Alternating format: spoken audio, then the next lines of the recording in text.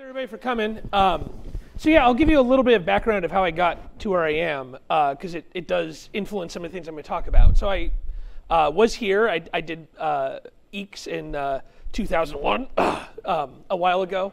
Uh, are there any freshmen uh, in the room? Because I like to say, while you were being born, my soul left my body here at Soda Hall. Um, so it's possible that we're intertwined in some kind of cosmic way. Um, but anyway, um, uh, I uh, come from a very traditional information security background, right? So I was uh, a bit of a teenage hacker uh, who never got caught doing anything um, with a 300 baud modem. Uh, was here, did EECS, uh, was able to study a bit under Dave Wagner, who was a grad student at the time. Um, and at the time, there was not a single undergraduate security class available to students. So there's like one graduate seminar in security and one graduate seminar in crypto uh, that I was able to take uh, with Dave. There were no professors teaching it. It had to be relied upon uh, grad students, him and, and Ian. Um, and uh, after that, uh, worked for a couple of pure play security companies, started my own uh, company in 2004, sold in 2010. Since then, I, have been the CISO of Yahoo and Facebook. A number of my friends call me the Forrest Gump of information security because uh, whenever there's a massive international incident, I'm there in the back uh, playing ping pong. Um, so, uh, anyway, um, so I come from a very traditional technical information security background, right? Of, of core information security, of the idea of people uh, subverting software to do things it's not supposed to do, to steal information, to break systems, uh, to, to you know, steal intellectual property. Uh, and yet I have found myself uh, the last couple of years being pulled into talking about kind of the geostrategic uh, significance of these events um, and how governments are using the internet to cause harm uh, both to individuals and to societies overall, um, which is a really weird place to be uh, based upon my background. I'm actually an adjunct professor of international relations. I've never taken an international relations class uh, at any collegiate level. Um, which is an interesting experience, uh, but like it's it's an odd thing, but it also demonstrates what has happened to our field, which is something that was kind of fun uh, and entertaining, intellectually challenging back in the 80s and 90s, has become one of these central pillars of national security for, for states uh, and for safety and trust and privacy for individuals. Um, and that's, that's a weird transition uh, that I expect those of you in the audience are going to go through the same transition in whatever you specialize in. Uh, it might seem like what you're doing right now is fun, uh, and that stuff might turn out to, to be much more impactful uh, and dangerous uh, and risky uh, sometime in the future. So I thought I'd do right now is talk a little bit about you know, I know you've heard a lot about kind of some really specific uh, applications of, of big data technologies and data science. What I want to talk about is a little bit bigger picture of some of the issues that are being faced by the massive consumer internet companies. And you know that there's a, a significant portion of this that has to do with the fact that they have accumulated exabytes and exabytes of data. Um, and also they have a lot of problems for which machine learning has both been a curse and should hopefully be somewhat of a, a, a solution going forward. Uh, and so I'll, I'll, try to get through this and have a little bit more time but i'm not going to get into all the technical details. Uh, but if you guys want to jump into more of that later, uh, I'm happy to. So the basic problem the companies are facing right now is that people don't like to make trade-offs, and this is just a natural uh, human instinct, right? But it, it is especially true right now in the internet space because while people don't like to make trade offs, people also can't make trade offs if they don't understand what they are. And what, what's, what's happening right now is that there's a, a small number of companies that are operating at multi billion user scale. They're operating in over 100 legal uh, jurisdictions who have users with hundreds of different languages and cultural backgrounds. Um, and there is no precedent for who is responsible for deciding what those people are allowed to do, who is, uh, uh, who is allowed to speak, who is a, a legitimate member of a society, who is the enforcer of cultural and legal norms, and how all these decisions are made. There's no precedent in human history for this kind of problem. You've never before had privately owned corporations acting uh, in this manner uh, with this level of responsibility and also without any kind of historical precedent. Um, and so as a result, you have a bunch of trade-offs that people don't understand. Um, and that's a, a, real problem because if you don't understand the trade-off, then you, you can't make an intelligent decision. I'll give you some examples of that. So like kind of a traditional, very old engineering trade-off is the idea that you can have two of three things. You can have something done fast, correctly, or cheaply right? Or if it comes to government contracting, you get zero of these three. That's one way to solve the triangle. Um, but for most engineering projects, this is kind of an axiom that we like to use in engineering, right? That you have to pick a point in this triangle, in this optimization, um, and you can you know, do a better job of making the triangle smaller through uh, better processes and better technology. But in the end, this is held true for all of human engineering since you know, somebody used a stick uh, to kill somebody else and somebody invented the wheel, right? Um, which I was just in the British Museum last week, and they've got one of the first wheels there, which is pretty cool. Um, anyway, I, I, recommend you go look uh, all the stuff they've stolen from their empire. Um, it's a great museum. But anyway, this is a traditional engineering problem. So the the optimization problem for if you are a consumer internet company of what decisions you should make to keep people safe, to keep them secure, to keep their data private, turns out to be much more complicated. And there's a bunch of equities that we would all agree are equities that are reasonable ones that we should aim for, right? Everybody believes uh, that uh, massive social platforms should be free of harassment of individuals. They also believe that you should collect minimal data on individuals. Most people believe that you should have some level of integrity of the information you see, but they also want there to be some kind of neutrality in the moderation of deciding who gets to speak and, and who doesn't. Um, and it turns out you can't have all of these things, right? So, for example, one of the big trade offs uh, that has been the news in the last couple of years is the data portability trade off, right? And so you don't want a situation where a small number of companies are monopolists and are able to lock out any kind of competition. Um, that it is impossible to build uh, any new applications because they have locked up all the users and that data is locked in. Um, but you also don't want data to leak out and be misused. Uh, and so, for in Facebook's example, um, Facebook decided it was going to allow people to build apps on their platform. Um, they're going to open up an API that you, as a user, could opt into the to a piece of software being able to impersonate you and to be able to access data programmatically with the same view rights that you have. This led to what scandal? Cambridge Analytica, right. Um, so what it was you know, supposed to be a decision that is anti-monopolistic, that is supposed to allow a large ecosystem to grow, turns out to also cause a data, portability, uh, a data leakage issue, and that once you give people access to that data, uh, the ability to control what they do, especially in an API where anybody can sign up for it and you don't have like a strong legal gating function, turns out to be very, very difficult, actually impossible to figure out what people are going to do on the backside with that data. Um, and so there are a bunch of trade-offs. Um, and the other problem here is that the trade-offs aren't actually linear. Um, when you move to one of these equities, you move away from other equities in an unpredictable and a nonlinear fashion. Um, so one really important one is minimal data collection. So effectively, if you want to police any kind of bad behavior on any kind of user-generated content platform, you have to know a lot about the people who are posting that data, right? And so if you move towards minimized data collection, then you move away from almost all of the safety uh, and integrity sides because you have to have data to be able to feed your algorithms to find the bad guys. Um, and so uh, one of the problems that the companies are facing is that this isn't understood, including by the companies themselves, right? Like this is a brand new area of human endeavor. We don't understand what the difficult engineering trade-offs are, and we have very few tools to actually describe them and then to, to decide how we want to handle them. Um, so there are a couple things you can do, and one of the things you can do is just say, screw it, I'm not going to make the trade-offs anymore. I'm going to go all one direction, which is possibly one interpretation of this post by Mark Zuckerberg. Um, I have no inside insight into it. I have to just read the post. I don't know what people are talking about internally. But if you read it, it does seem like a decision to move away from a bunch of these equities towards the minimized data collection um, and surveillance resistance. Uh, you know, you're going to move towards these two equities and away from a bunch of other ones. Uh, because trying to find a point in the middle means that at any moment, you can have a bunch of critics standing around you who are all criticizing you for not being all the way on one of those sides. So his decision is he's going to go all the way to one direction. I use the uh, metaphor of like it's like a guitar amp, right? It goes from zero to 11. Um, and if you're measuring on the minimal data collection uh, to harassment free axis, you know, Facebook's been bouncing between three and seven, and he's just decided, yep, we're going all the way this side. We're going to encrypt everything. We're not going to be responsible for moderating it. We can't see anything. We don't have any ability to help you. Uh, that's the decision we're making.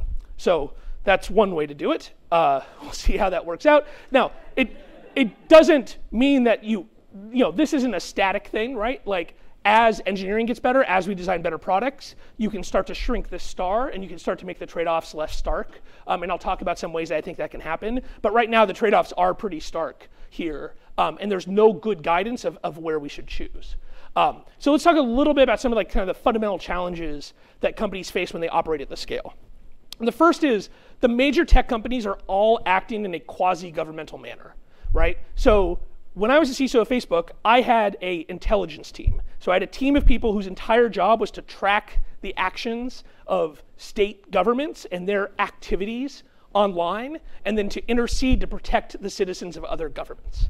That is a unique time that a private company has had that responsibility, right? That is pretty unique. I had a child safety team, I had a counterterrorism team, right? Like these are governmental responsibilities that have been taken by the companies by the fact that they own the platform, they own where the data is, and they have access to data and resources that the public sector does not. Um, the companies all have people who decide what is acceptable political speech. They have people that decide what is acceptable advertising standards for people to run ads in democratic elections. Uh, these are government decisions that should generally that are being made privately. Um, they have effectively speech police, right? Um, uh, you know, I've, I've made the metaphor. It's people think that the ability to enforce uh, content moderation rules is something that's super advanced, but it's more like the censorship DMV, right? Um, that if you build any institution that has to operate at that scale with that many people, um, with those restrictions on it,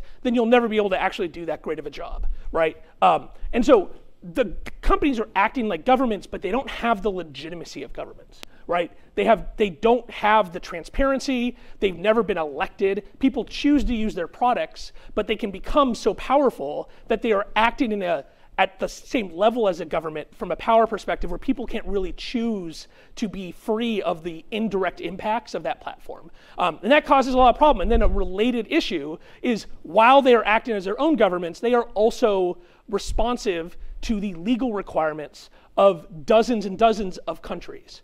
Um, uh, and they want to build one product uh, and they want to build one set of things that allow people to interact with each other no matter where they are, uh, yet they have to follow all these different rules. Um, and this expresses itself in a number of different ways.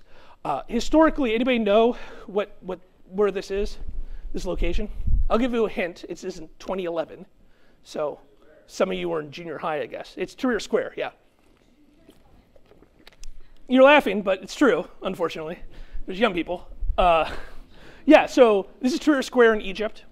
Um, this was kind of the pinnacle of uh, people in tech believing that what we were building was a, a fundamentally a liberation technology, right? Um, and that uh, we were building systems uh, that uh, were used to organize democracy protests throughout the Arab world for the first time ever, and that led to uprisings like this one in Egypt. Um, at the time, people were very uh, excited for uh, the fact that social media and the, uh, really the ubiquity of cell phones, we talk about the social media companies, but the actual underlying technology here is that pocket supercomputers with always on connections have gone really cheap right? And so the use of that are platforms that have been built by American companies, but there's actually a wide variety of companies that made that true, that uh, these devices can get so incredibly cheap, um, and that uh, even anywhere in the world you end up with at least 3G coverage. Um, and that is actually, I think, the fundamental technology shift here, whatever the, the technology on top. But anyway, 2011, people were feeling pretty, pretty good about the use of our technology to, to do things. There were some side effects uh, the Tunisian government was injecting JavaScript into the login page for Facebook. Um, there was a bunch of stuff going on of trying to intercept people's Gmail. Um, and so there were changes that had to be made based upon the actions of governments during the uh, Arab Spring. Uh, but for the most part, it looked like this was going to be a positive outcome. This is what Tahrir Square looked like two years later. A little bit different, right? So effectively what happened is that a number of the governments that were overthrown in the Arab Spring, the next successor governments were no more democratic, were no more responsive to their citizens, but they were a lot smarter about the internet, right? Um, they knew about the danger of the internet, and they also understood from direct experience they had come to power because of the internet, and they knew they could use the internet to sustain that power. And what we've seen since the Arab Spring is kind of the empire striking back right? You've seen all of these governments. That's a movie for you young people uh, from the 80s.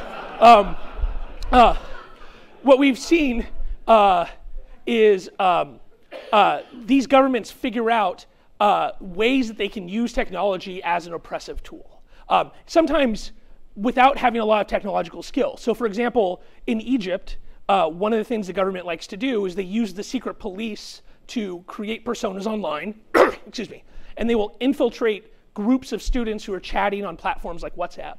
And all you have to do is infiltrate with one person and then groom one person to tell you what their what their physical location is and then you physically grab that person you torture them you make them log back into the social network and then you have them set up all of their friends right? So it doesn't take any technological sophistication. It is the application of classic gestapo tactics to a knowledge of how social networks work online. Um, and that has been unfortunately incredibly effective in turning the internet into a tool of oppression not just liberation.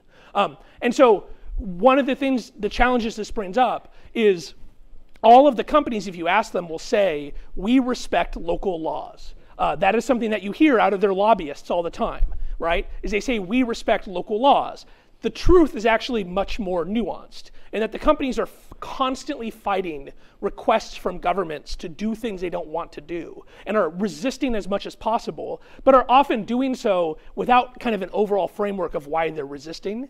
And the challenge they're facing now is that as their resistance to legitimate democratic governments falls, it makes it harder for them to resist demands from the not so legitimate governments uh, or the autocratic governments. Um, and that's a, a, a, serious problem that if you're going to act and have this quasi governmental power, if that huge quasi governmental power is now able to be subverted through legal means by every jurisdiction on the planet, um, then that turns out not to weaken states like people thought the internet would, but to significantly strengthen them, right? Because we're facing a future where these companies are effectively uh, the uh, right hands of a number of autocrats. Um, so that's a set of challenges. Another set of challenges the valley is facing is you can't fix what you can't measure, and they're having real trouble measuring the bad things that happen online. So the good companies in Silicon Valley make all of their decisions based upon quantitative metrics, right? So every time you use Instagram, every time you scroll through it, I was going to say Facebook because this group's too young uh, to be Facebook users, um, but there's, there's probably some Instagram users in here still. Um, every time you scroll through Instagram and you use it and you use certain features and you click on certain things, you are sending them information about what you like about that product, right? You are you are creating a, a, trail that can then be combined with lots of different people in your demographic, demographic group that can then be used by product managers to decide this is how we're going to change the product. Now, there are companies that don't follow this model. Um, there's a competitor to Instagram that's doing really poorly right now. It's because that company, the CEO, just likes to make decisions about how the app works without getting data. And that turns out to be bad because that's only one person's idea. But companies like the, the Googles and the Facebooks and the, the Amazons, uh, those companies who have maintained their position on top of the pile have generally done so because they have leveraged the data they have to know what people want, right? But the downside is all of these metrics effectively boil down to one question, which is do you like our product, right? That is what they are measuring. There's a lot of fine grained numbers, but in the end, they're really measuring customer satisfaction. And the problem with customer satisfaction is it doesn't capture the totality of the impact of a product on society, right? So what's another product that has like super high customer satisfaction scores? Heroin, right? so if you give somebody a shot of heroin into their vein and you ask them about 90 seconds later, are you satisfied with my product? The answer is invariably yes. Um, I know this because I lived in a co-op here uh, for a short period of time um, on the north side. So, uh, right? Like heroin has really high customer satisfaction scores. But it is because then there are not metrics that are measuring all of the externalities to that immediate rush of customer satisfaction of the fact that heroin is bad for the user and in, in totality bad for society overall. And this is one of the challenges uh, the companies are facing, which is it is easy to measure are people liking our products? Are they liking these features? Are they using it? It is super hard to measure are we making people smarter? Are we making people actually happier? Right? Um, are we making societies better? Are we increasing the quality of the information environment? Those things are spectacularly hard to measure. And if you can't measure it in Silicon Valley, you can't actually get it. Um, there's a, an axiom in all uh, of business, which is you get what you measure to the detriment of everything else, right? And this isn't just true in tech, this is in your entire business career. You realize the things that are measured, and especially bonused, are the things you will get, and you will, everything else that's not measured will get a little bit worse to get you that one number, right? And that is one of the fundamental problems that the companies don't have those numbers um, and that they're not measuring and bonusing people based upon them. And that makes steering these ships of tens of thousands of people very, very difficult. Um, and so one of the fundamental problems about measurement is you actually have to have definitions before you measure something. Um, and so one of the, there are many different ways that online services can be abused for harm, um, but one that has been talked about a lot uh, is misinformation, disinformation, especially from organized government actors. Um, these are two posts uh, from uh, an organization called the Russian Internet Research Agency. Um, you may read about them. They're a, a key character uh, in the Mueller Report, which is this excellent free novel um, that you can uh, you can download. I actually have a paper copy. I don't have it with me. It's in my car. Um, it, it, costs about 300 bucks to get it printed at Kinko's. Uh, but if you have a 12-year-old, it turns out that that's a great use of them uh, to, to hole punch 458 pages. Um, but anyway, um, these are posts by the Internet Research Agency. Um, uh, what the Internet Research Agency is is a private organization owned by uh, a man within uh, Vladimir Putin's inner circle, a man who's called Putin's chef because he actually owns a series of restaurants in Russia, um, a variety of other things too, as you can imagine. Um, and it is a private organization that is acting on behalf of Putin's political party and the interests of the Russian state with, with a very nebulous connection to the directly to the, the Russian intel agencies. Um, that's one of the things that was not well explained actually in the Mueller report that I was hoping to get more insight into. Um, what they have is they have uh, buildings in St. Petersburg that are full of disaffected, pissed off Russian millennials um, who speak a little bit of English, uh, who learn uh, better English and better uh, uh, language skills for a number of Western countries. Um, and it is organized into groups of people, uh, some of whom are, are creators of media. So they have graphic design studios, basically, whose entire job it is to, to stamp out memes. Um, and then they have different teams whose job it is to infiltrate different parts of Western societies to drive division and chaos online. Um, so these are two posts uh, from the same organization, one on the left, one on the right. Um, and one of the key problems that we're facing as a society is neither one of these things is fake news, right? So you hear the term fake news a lot. It didn't mean anything even before Trump ruined it. Um, but it certainly doesn't mean anything now. Right now, fake news means stuff I don't like that I saw online, right? Um, uh, but uh, even before that, fake news was never even a term that we really tried to use inside of Facebook because it doesn't have a definition. Um, and the vast majority of the stuff the Russians have been pushing is not actually fake. It's either extreme political positions based upon true facts or it's non falsifiable claims. So here on the left, um, this is a, a, fake group called Blacktivists. So this is basically a fake Black Lives Matter group um, that had been set up that intentionally uh, was trying to uh, recruit uh, young African American men, mostly, uh, recruit them into these groups and to radicalize them.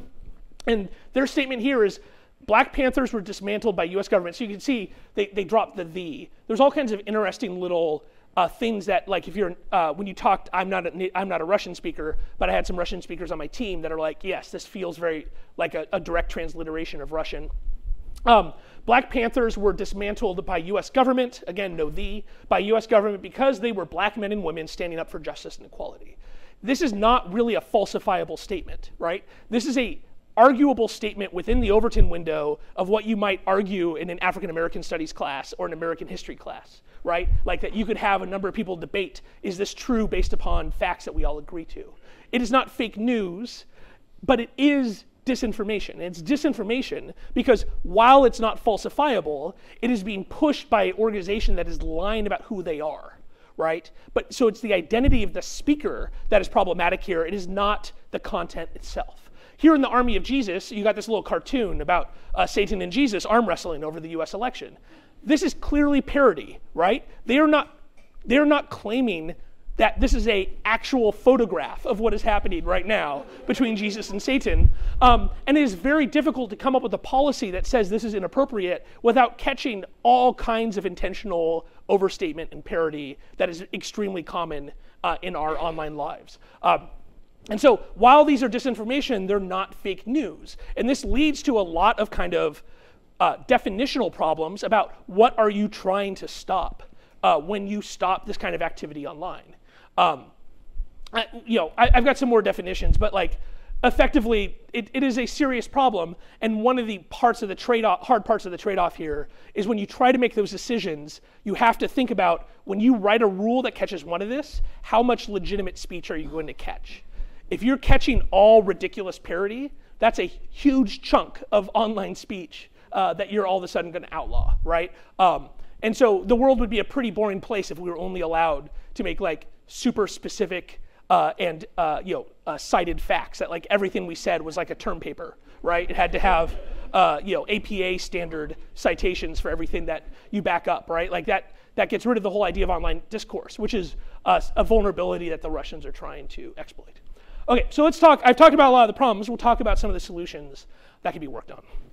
Um, so for you young people in the audience, this is a man named Bill Gates.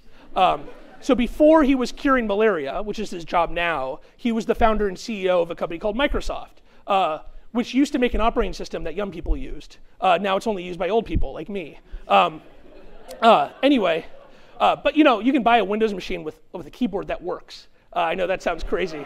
Um, but anyway, uh, in the late 90s, Microsoft was in trouble on multiple fronts. One, they were considered a monopolist, right? And so this, these are actually still frames from Bill Gates' famous deposition that did not go extremely well um, uh, uh, about the, the uh, monopolistic practices by Microsoft. But the other thing they're in trouble for was the fact that people believed that their software was really insecure. That turned out to be true, right? Late 90s Microsoft software was crap. The truth, though, is all software was crap in the 90s, right? And, but Microsoft got most of the blame because they were the most important consumer software company. And so uh, their vulnerabilities were the ones that actually caused the most damage. So at, during this period of time, in the late 90s, early 2000s, there was a series of worms that had significant, you know, pieces of malware that had significant financial damage. Nimda, Code Red, SQL Slammer. SQL Slammer shut down a bunch of ATM networks. Um, and so, you know, pieces of malware that weren't that technically advanced were able to do a huge amount of damage because Microsoft didn't know how to write secure code. Um, to Microsoft's credit, they figured this out. Uh, and in 2002, uh, Bill Gates wrote a famous email to everybody in Microsoft called the Trustworthy Computing Memo. Um, this is what email looked like uh, in 2002. Um, this is a piece of software called Windows XP. Uh, and um, uh, in this email, he talked about how Microsoft had to change how they built software, and Microsoft actually lived up to what they wanted to do here. They stopped all software development at Microsoft for several months. They retrained all their engineers. They rebuilt their software development lifecycle, and effectively, in, over the next five years, Microsoft invented the, all of the techniques we know about now about how to build reasonably secure consumer software there's a bunch of things that Microsoft did during this time that were like theoretical things, but were not part of normal practice. For example, fuzzing is a normal part of software development practice now. At the time, it was a crazy thing done by crazy kids at Black Hat, right? Um, the idea of bug bounties, uh, the idea of working with the online security community came out of this period of Microsoft, right? When Microsoft came to Black Hat 5, I believe, it was a huge, shocking thing to have official representatives of a huge company be there to talk to hackers and not just to sue them right? And so there's this, this big period of time where Microsoft reinvented how they build software. And their software's not perfect now, but it's pretty darn good. And the other thing they did is this was not their goal, but they uplifted the entire software industry because a bunch of people quit and then went to other companies and took what they knew, right? So the core of the software security teams at places like Google and Amazon, a lot of those people actually came from Microsoft. In fact, the chief security officer of Apple, George Stathopoulos, for a while the two of us were trying to take over that all of the CISOs would be Greeks. Um, which he's a real Greek from Greece. Guy chain smokes uh, like a chimney, makes me look like a wasp, right? Like the guy's truly, truly Greek. Um, anyway, George was part of the Trustworthy Computing Initiative. He actually came out of Microsoft and he's helped Apple learn actually a number of software security lessons that Microsoft learned 15, 16 years ago.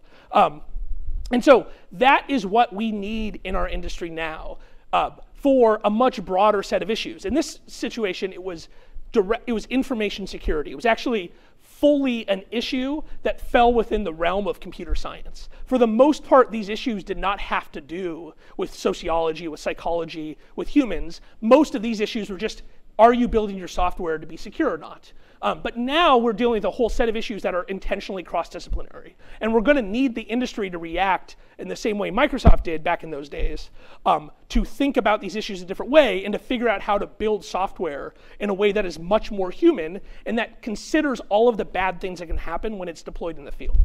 Um, so some of the things I think the companies need to do. The first for the companies that do the user generated content stuff, so this is like Google with YouTube, Twitter, Facebook, obviously, a bunch of other companies, they need to start to embrace transparency um, and restraint when they make content moderation decisions. So one of the fundamental kind of problems they have when we talk about non-legitimacy of these quasi-governments is the companies don't explain their decision-making process. Um, so when you have an argument with somebody and you go into a court system, the argument is made in public, the decision of the judge is public other people can see how that case was decided and decide whether or not their case might go one way or another right? That's a huge thing what you pay lawyers for is that lawyers understand all the precedent. And so when you come to a lawyer with a problem they can tell you this is what i think is going to happen. There is no lawyer that can tell you what they think is going to happen when your content is moderated by facebook right? There's nobody can predict that because the decisions are all made in secret and they're made based upon a set of precedent that is constantly shifting based upon who's more angry at the company at any moment. Generally, the New York Times is the organization that is the most angry at Facebook, but sometimes there's other people uh, who are equally angry, and so you'll end up with like the shifting sands of decisions that are not explained publicly. Um, now, I'm not saying the companies should go write a, a, decision every time they take down a single piece of spam. The truth is, is Facebook probably makes more content moderation decisions in one hour than the entire federal court system makes decisions in a year, right? They don't have the ability to sit and write seven pages on everything. But the big decisions, like a big one that has come up recently is what is the definition of white supremacy? Like how much activity online, how many beliefs online fit within this nebulous term, white supremacy, um, that is a decision that they announced like just in a press release with a couple of paragraphs of, of, of PR person talk, when really you could have seen six or seven pages of discussing the background of how this issue evolved, the kinds of um, arguments on both sides, what the decision was, and what the possible consequences that decision might be, right? Um, the other thing I'd like to see them do is to be more subtle in their application of the rules to address the fact that not every part of these products have equal danger. So any online product is actually decomposed. You can decompose it into multiple products stacked on top of each other. And this is like a very simple decomposition of, of the Facebook product. And this is just Facebook, what we call the big blue app, not Instagram and WhatsApp and such. Um, of the different products that make up what people call Facebook. So at the top, we have the, the parts of the product that have the most amplification, the, the, the pr- parts of the product that can take one person's speech and put it in front of a large number of people. At the bottom are things that have very little amplification. So at the top we have advertising, at the bottom we have one-on-one, which I mean one-on-one messaging. Like you're in Facebook Messenger, you, you send a message to one person, you send a message to a small group of people, you have a personal uh, profile that's only seen by your friends, you have private groups, you have personal profiles that are set to public. Um, impersonal pages, so like the Blacktivist page, the Army of Jesus page, that's are these kinds of things. Um, and then the recommendation engines in advertising. And up here, the dangerous stuff. And then from my perspective, this is where you have, as you go down, more free expression concerns and honestly more creepiness concerns, right? So here is a creepy fact that we need to consider when we make these decisions. Almost everything you type online that other people see is being examined by machine learning that decides whether or not you're allowed to say that or not. Pretty much everything. Like we have, we thought that the AI future was going to be Skynet, like robots stepping on our skulls. That's from another 80s movie uh, called The Terminator. But it turns out the Skynet is not robots stepping on our skulls. It's a bunch of graphics cards uh, that are running machine learning models that are deciding whether our speech falls outside of the bounds of acceptable discourse or not. Now, a lot of those tests are the kinds of things that there's not really a political decision. There's a lot of scanning for spam. There's scanning for malware, right? A lot of that stuff none of us really object to. But as you go up the stack, in most products, the further up you go, the more machine learning is making content decisions of what you say being appropriate or not. Um, and so as we look at this, what we've got to think about is at what level do we want to enforce these rules with the thought of, you know, sometimes we're going to have to let speech by that we don't like, but we can at least limit its impact um, while still respecting the rights of individuals. And the reasons advertising recommendation engines is bold is these two things are actually much more dangerous than this re reflects because they're the parts of these products that allow you to put content in front of people who didn't ask for it right? So for all this other stuff, for the most part, people are voluntarily part of that conversation. They decided to join a private group. They decided to be part of a group message. If they're added to something they don't like, they hopefully can take themselves out of it or report that kind of spam. But for the most part, we're assuming that these people want to be part of this conversation. Where advertising, by definition, is people putting messages in front of you you didn't ask for. That's why they have to pay for it because you don't like it, right? That's like that's how the whole system works. Um, and so what I would like to see is the companies be a lot more thoughtful about talking about their decision-making process and drawing arrows to where on this triangle they're going to enforce certain rules. You're not allowed to send spam all the way at the bottom, right? Like spam has very little free expression concerns, nobody likes it, we're gonna scan for it everywhere. Certain kinds of exploitation of children, all the way at the bottom. You know, it's creepy that the companies scan for it. So effectively, if you didn't know this, Every photo you have in every cloud hosting, every photo you've uploaded to every online site, every photo you've sent via Messenger has been scanned to see whether it is a known piece of what is called CSAM, child sexual abuse materials, which is the technical term for child pornography. Um, people don't say child pornography in the space because there's a big argument that you shouldn't call it pornography. Um, uh, because the victims did not uh, say that they want to be part of it. So we use the term CSAM or CSEI. I, I prefer CSAM because it's pronounceable. Um, everything you upload is, is scanned for that uh, using a standard algorithm that's actually owned by Microsoft and then licensed out to all the other companies. Um, that is a decision that effectively the companies have made without any kind of legal guidance uh, because they know that that kind of activity is so incredibly harmful. But looking for, say, anti-vaxxers, right, where anti-vaccine people really drive me insane as the father of three children, the fact that they might come home with a disease that was featured in Little House on the Prairie really drives me insane, right? But that is part of living in a free society is sometimes people make shitty decisions that I don't like, um, and they talk about that online. And so maybe you decide that somewhere around here is anti-vaxxers. Like anti-vaxxers can't advertise, they can't have big pages, but they're allowed to have private groups that they decide to be into, and that you'll reduce the spread. Anyway, what I'd like to see is the companies already make decisions like this, but they don't talk about it. And because they don't talk about it, there's very little legitimacy to the decisions, and people don't accept them as being legitimate. Um, one place I'd like to see some technical innovation is on the safety uh, privacy frontier for end-to-end encrypted apps, right? So the example of applications where it is not true that machine learning is currently looking at everything you send is on the small number of apps that are actually end-to-end encrypted. So iMessage, WhatsApp, Telegram in certain circumstances, um, uh, uh, Viber, I think, Line. Um, in those cases, that that uh, information is passing from one client to another without a computer telling you whether it's safe or not. Um, and I think there's a lot more innovation we can do here uh, on the machine learning space to push those kinds of decisions into the clients and to help people keep themselves safe. So there's really two kinds of abuse on these platforms. There's the class of abuse where the victim of the abuse that is that is that is uh, carrying the weight of the abuse is part of the conversation, right? Um, probably not, they didn't want to be part of it, but they are part of it and they can see the information itself, right? So if you're being bullied, if you're being sent threats to your life, people who are doxxed, uh, grooming of children, sextortion, uh, which is a horrible crime where you uh, convince people to give you nude photos and then you turn those nude photos into more nude photos, uh, into more nude photos. It's a, a, horrible thing that happens a lot, actually. Um, recruiting of terrorists.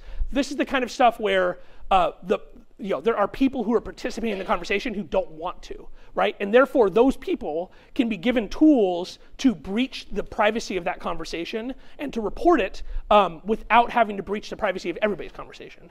Um, and then there's a second class of issues, which are the class of issues where there's an external victim. So the trading of child uh, abuse materials. You know, the, the victims themselves, that material has been made a long time ago, possibly. The victims themselves are not part of it. The people who are part of those rings want to be part of those rings. Um, conspiracy, so if you have five people planning a terrorist attack all together, um, they probably all know each other already. Uh, and so they uh, are able to use it without one of them reporting it. Um, a lot of hate speech is among groups of people that are self selecting, um, things like anti vax, stuff like that. And so, where we can especially see some innovation is on this side, where a lot of this stuff is right now on most platforms detected on the server side, on machine learning models that are running on those NVIDIA Teslas that are running on huge 64 core Xeon chips. Um, but as these things get more and more powerful, there's no reason why we can't pre calculate these models in the cloud and do a lot of the actual detection on clients. And so, what I'd like to see is some research in this area where people look into what of this stuff can we detect on the client. And then in a situation where we detect with a reasonably high confidence that something bad is happening, can we then prompt the victim, hey, do you need help? This seems to be happening. Please report this to us. And in the case of a person saying, I want to report this conversation, you now unwrap the cryptography there. You're able to look at it and you can kind of both keep the user safe without violating the privacy of all the non-violating conversations. On this side, much less technical stuff you can do without building backdoors that are available for every uh, conversation. Um, so this means like better partnership with law enforcement and probably infiltration of these groups, which is the classic way of, of catching like child porn traders um, or terrorist groups is via infiltration. Um, one thing that the companies really need to work on is they need to think about how they synchronize their policies on hate speech. Um, and in my perspective, one thing they need to think about is blockading certain sites. Um, so this is the post that the Christchurch shooter posted just minutes before he, he started his shooting rampage. Um, and in it, he talks about his motivation, obviously, um, but he also links to the Facebook live stream and he links to uh, his manifesto. Um, and in doing so, he created a situation where it was very, very difficult for anybody to block his thoughts afterwards because he, he was able to get first hundreds and then tens of thousands of people motivated to go post the stuff over and over and over again, sometimes manipulating the video. Um, it turns out that detection of video, fingerprinting the video actually is a computationally difficult problem, and there's very simple transforms that um, allow you to beat the detection mechanisms that are used by all the big companies. I'm not going to talk about them, but these guys figured it out, unfortunately. Um, and so this site is a site which I'm not even going to name, but you guys can probably figure it out. But I don't like I don't like it passing my lips the name of the site. They intentionally try to host this kind of white supremacist and hateful content. Um, they do nothing to try to stop this kind of stuff. This is exactly the kind of site that you do not want young people to jump to from the legitimate sites. And so there is a internal, uh, there is a problem of radicalization internal to the big platforms, but what that path often leads people to is these kinds of sites where they can be truly radicalized with absolutely no limits, and in some cases, no information uh, that available to law enforcement afterwards to figure out uh, who was involved in the conspiracy. Um, and so, what we probably need to see from the companies is a standard of sites that are doing this. They can't be taken down right? But they don't have to be allowed to exist on the major sites. So you could effectively create a blockade where the five or six or seven major sites like this are not allowed to be linked to from Facebook, cannot be linked on Twitter, cannot be mentioned in a YouTube video. Um, and you can try to start to build a gap between the radicalization that happens on the platforms that actually do content moderation, that they can't jump to these platforms where the truly hor- horrendous stuff happens. Um, one thing the companies need to do is they need to enable academic research into this area. So the Cambridge Analytica scandal was really bad for academic researchers. Uh, from the company's perspective, they got screwed by an academic and they got blamed for it, right? Um, and so there was not a lot of interest at any of the big companies to open up their data for academic research. That is the wrong direction. We need to find ways that are reasonably privacy preserving where you can still research this kind of abuse. So one of like the basic problems is if Facebook goes and finds like a bunch of Russian troll activity, they take it down off of Facebook, right? They are legally required to delete that data under GDPR and FTC rules. They also then legally require any academics who had access via an API to delete that data. So it's very difficult to study a phenomena if all of your underlying data disappears the moment that it's found by a content moderator right? And so that's the kind of stuff that the companies need to come together and say, these are some reasonable standards, and then go get blessed by a number of governments that these reasonable standards can be used without legal problems. Now that turns out to be harder than you might think, um, but it's something that we need to start now if we're going to have any kind of reasonable research watching the 2020 election. Um, and then as the companies basically accept that they're going to be regulated and say, we want you to regulate us, um, to a certain extent, if you're a big company in any field, you want to be regulated because it increases the uh, compliance costs of all your little competitors, right? So um, this is what's happened in the financial service industry, where a bunch of regulations have meant that the big banks get bigger and bigger and bigger because they can afford the lawyers, they can afford the compliance specialists. So we might see the same thing in tech.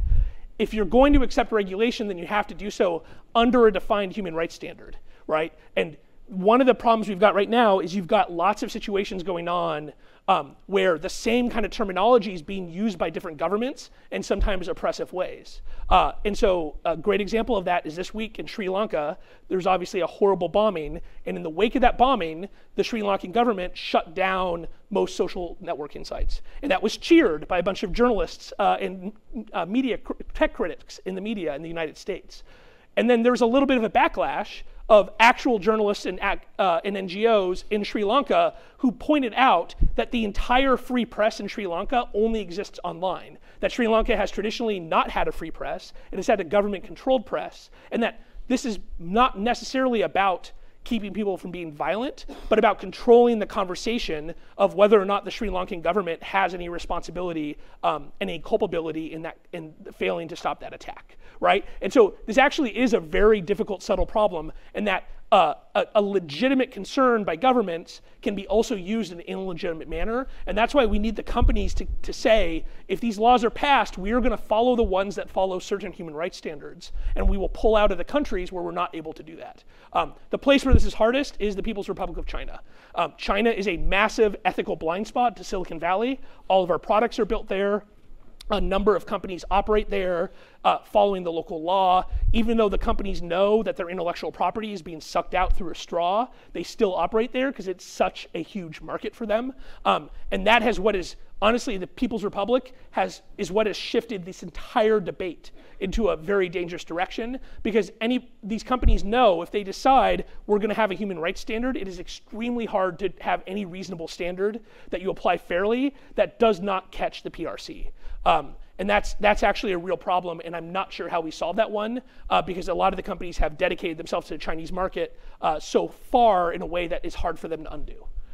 Um, and so some other things that we might want to see in the US, um, I think we should have a, a federal privacy law. We have watched the rollout of a big privacy law in Europe called GDPR, the General Data Privacy Regulation. Um, there's two basic issues with GDPR that I think we can fix in the United States. The first is an easy one in the United States. Nobody knows what GDPR means in Europe because the law was passed at the pan-European level, but it's interpreted by 28 different data protection authorities and 28 different legal systems. And so we're going to have a decade of everybody suing each other, and then slowly those legal systems will converge as to a reasonable interpretation of GDPR. That's easy in the United States in that we have one federal court system that should converge much more quickly. Um, the other issue is more subtle, which is GDPR does not foresee the safety and security issues that are, arise from throwing away lots of data. Um, and this is also a structural thing in Europe where the European Commission, European Parliament have, have responsibility for privacy, but they don't have responsibility for national security. And so as a result, they've passed these pro-privacy laws, but the, the, the, request to stop terrorists, to stop Russian interference comes from the state level. Um, and so that's something we have to consider in our privacy law. Uh, I think we need to have a strengthened Honest Ads Act. So since 2016, there's been no change to US election law to catch the Russian activity. So the vast majority of the Russian ads that were run in 2016 do not classify as what's called electioneering. Electioneering are the ads that are regulated by FECA the vast majority of it is not electioneering because it doesn't say vote for Trump, don't vote for Clinton. It is talking about issues or it's talking about the candidates in a more kind of journalistic way, and that's not considered electioneering. So we need to extend the definition of, of, that, lower bounds on ad targeting, a bunch of technical stuff that I'd like to see for that. Um, we need cooperation and transparency between the companies. We also need to figure out who's responsible for this. And that's one of the issues we have in the United States is the defensive responsibility for this kind of work is super distributed across a bunch of different agencies. Um, and none of them really have the power to make the decisions necessary to protect the US from, from these kinds of attacks. Uh, and that's a legislative issue that needs to be uh, fixed out. We have hyper, hyper competent offensive people at NSA and Cyber Command. We don't have anybody with that equivalent competence on the defensive side. The closest we have is the FBI, but the FBI is cops, right?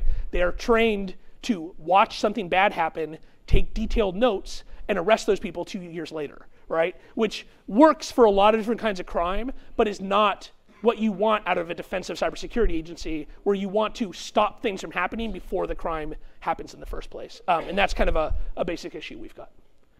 Cool. So I've got some time for questions if you guys want to hit me on email later too. Thank you.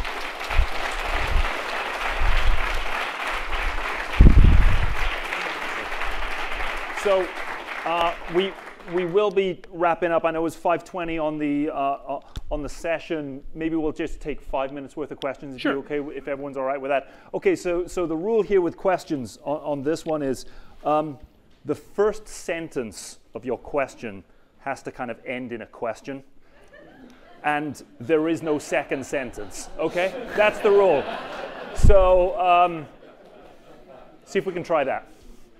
Alex, what do you think about Julian Assange and WikiLeaks? Do you think they're uh, publishing? Wow. Oh, right. That was the second question. Okay. What do I think of Julian Assange and WikiLeaks? Wow. Thanks, Mark, for the soft opening pitch. Um, I that is one of those areas where I have. I was of that group of people who thought like when WikiLeaks was dumping out like legitimate war crimes in the Iraq War, that that was a legitimate journalistic exercise. They started to lose me around um, the time of the Manning leaks, which were you know all of the cables of all of the embassies around the world, which ended up with people dying. Right, like you had you ended up with people being arrested because their names were in um, uh, secret classified uh, communications between U.S. embassies and, and the State Department.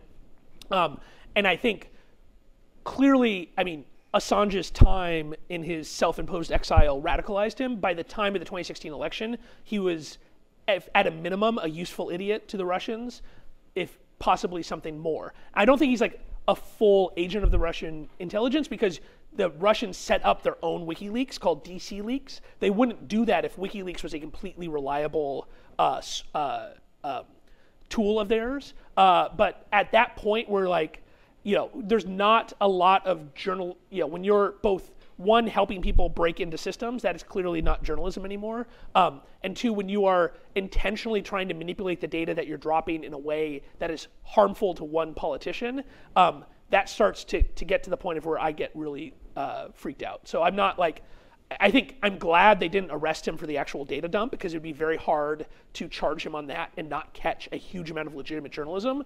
Um, we'll see if he actually, I mean, the, the evidence on him helping Manning is very thin, so we'll see about that. Yeah. All right, let's go right here, and then we'll go across there. Um, this is going to be a long-winded question. One sentence, so say it really it's fast. It's going to be one sentence. Okay, great. Oh, Given, given that the Mueller report identified the Russian organization, the IRA, as starting to display ads in 2014 to cause divide in America, do you think that social media is going to pay attention to that Comma.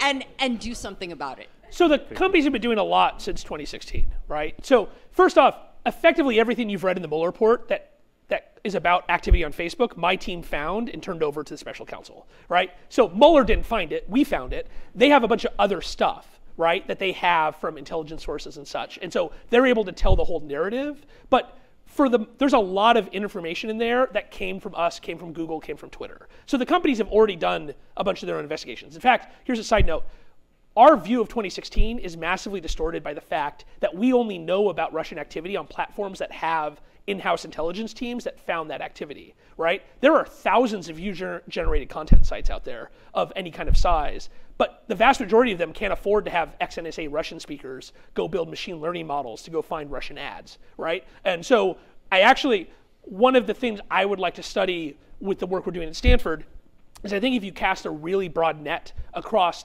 not just the top three or four platforms, but a lo- much larger group of platforms, you would find much more subtle activity that they're not catching because they don't have in-house teams doing it. Um, so the companies have done a lot around the advertising. Um, the companies have new definitions of political ads that catch the advocacy stuff. You have to verify who you are, and there's a bunch of financial uh, verification that happens. Um, that's not going to stop it necessarily. Uh, what we'll probably see is we'll see the use of Americans as tools. So you'll see Americans get tricked into running ads for Russians. Um, one of the things that came out in the Mueller report that I couldn't really talk about before um, but now it's out, so I can, um, is the Internet Research Agency reached out to families of people killed in police shootings um, and then tried to get them to carry messages for them or to carry their messages on their behalf.